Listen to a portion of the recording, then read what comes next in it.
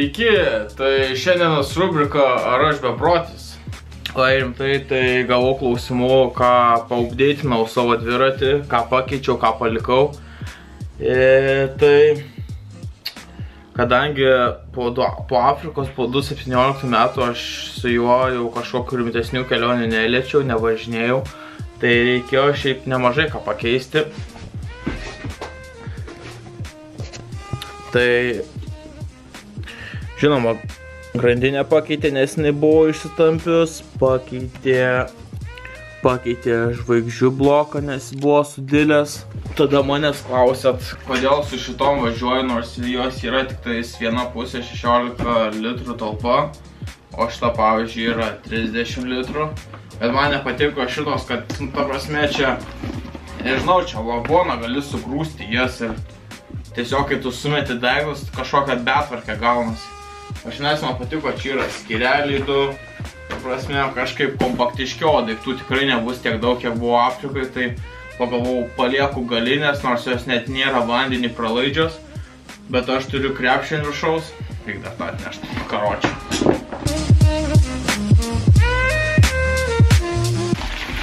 O, va, va. E, mama net apsiuvo viduje tokią ceratą, tai čia gražiai ant viršaus susideda. Tai žodžiu, nežinau, pagalvojau, šitas visai gal geriau būtų, negu ta didžiulė tašė. Aišku, litražo dvigubai sumažėja, bet aš šioje kelionėje užsidėjau priekinę bagažinę, anksčiau niekad neturėjau, tai kaip ir viskas paprasta, tai čia nais dar dasidės po 10 litrų, litrų kroso, tai 10, 10, 20 litrų. Plus dar galas 32. Tai 52 litrai, manau, užteks. Plus dar užsidėjau ant viršaus, ant vairo tašę, kas man nepatiko, kad realiniai buvo taip. Tokia labai, tas tašiukas toksai, jisai nekietas, tai o viduj buvo toksai, kaip nežinau, čia dekoracinis turbūt kartonas, bet aš jį kišiu, čia prisiklijuosiu tokias lipuvkės, bam priklijuosiu. Ir realiai tašiukas gausis toksai jau kietesnis. Na, žinoma, mano ant vairo visą laiką ta pati, tai čia gali ir piniginę, ir telefoną, ir batonėlį įsidėti ir raktelius būtiniausius, nu viskas, ką, ką būtina greitai po ranka. Tai tas, po to, po to pagalvojau dėl gertuvių. Taip, nusprendžiau, kad dėsiu taip kaip ir Afrikoje vieną čia nais, kuri vos vos telpa realiai ir kitą čia nais. Jos abi dvi yra litrinės, bet E, tada man netelpa joks trikampiukas tašiukas ir tiek pat ir čia niekas netelpa. Ir tuo pačiu aš dar turiu dviračio spyną, tai spyną pritvirtinau čia nais. Tai vien spyna, jinai sveria 1,5 kg. Tai jau vien kiek duoda svorio.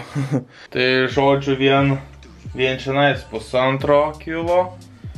Litras, litras, tai 3,5 kg vien tik tais per dviračio centrą, ką kalbėti apie priekį ir, ir galą. Daugiau tai ką, kas liečia žvaigždės priekinės pedalai, geri, čia platus pedalai, tai žiauri patogu kelionės metu. Čia šitie realiai prieš Afriką keisti, tai aš per Afriką jų nesudražiau. Aš šių, nu, kojelę buvau sulaužęs nuo svorio, grinai dviratis pastoviai, kadangi svėrė Afrikoje šiam 5 kilus, jisai po truputį linko, linko ir kojelė lūžo. Tai kojelė vėl ta pati nauja, bet nemanau, kad šį kartą sulaužysiu aš ją. Ai, dar tiesa pasikeičiau padangos. Padangos paprastos. Ne kontinentaliai. Na vis tiek, realiai 2-3 tūkstančiai kilometrų ir jos sudyla.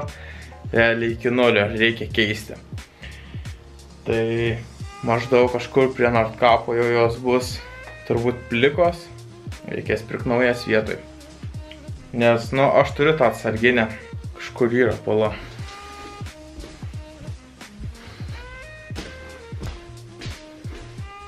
Čia mano pramoginis dviratukas.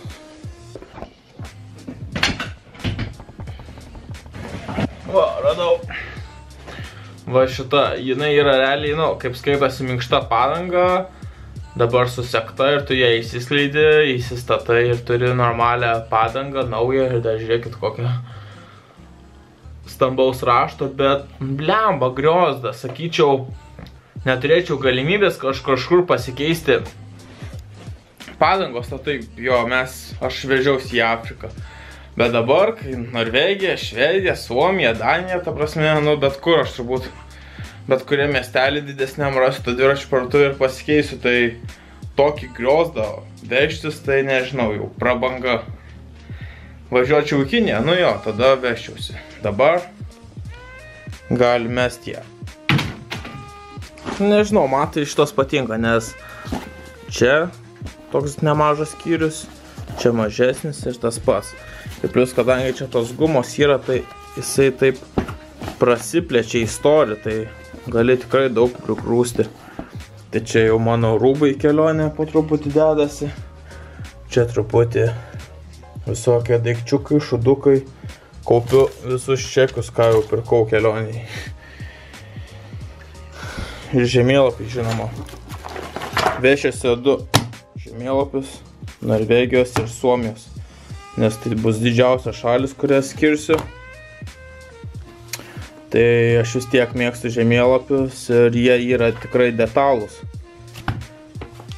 Tai stengsiuosi kuo daugiau su žemėlapiu keliauto, jau navigacija telefonė ir panašiai, tai bus tik tais to momento, kai jau kokį ežeriuką ieškosiu, ar dar nežinau, kažkokios konkretesnės vietos. Bet dėl kelių tai viską orientuosiu žemėlapiais. Gerai, baigė Canonas įsikrauti. Ačiū, kad prenumeruojat ir einu aš valgyti. Ai, palap, pamiršau pasakyti. Kai daug kas sako, kad mano dviratis mažas, nu taip, jisai 26 colių, bet kalnuotose vietovose realiai tas 26 tikrai smagiai rėda. Pavyzdžiui, tikrai lengviau su 26 minti kalną negu su 29, nes tas pats įsibėgėjimas greičiau vystosi. Nu, aišku, ant tiesiųjų kartais norėtųsi to biški didesnio dviratuko, tarkim 27,5. Bet, nu, turiu ką turiu, rėmėjai nenorėjo man duoti dviračio dikai, tai svarbiausia rėmas. Rėmas čia pas mane noris, jisai yra aliuminis, ne plieninis, kaip visi keliautojai keliauja su plieniniais dviračiais. Bet jisai toks yra, nu, tvirtas, tai kad rėmas lūštų, tai tikrai mažai šansų. O kad ratai lūš, nu, tai čia jau niekad nežinai, bet kas gali nutikti. Taip kad prašau, nesijuokit iš mano dviračio. Jis nevaikiškas.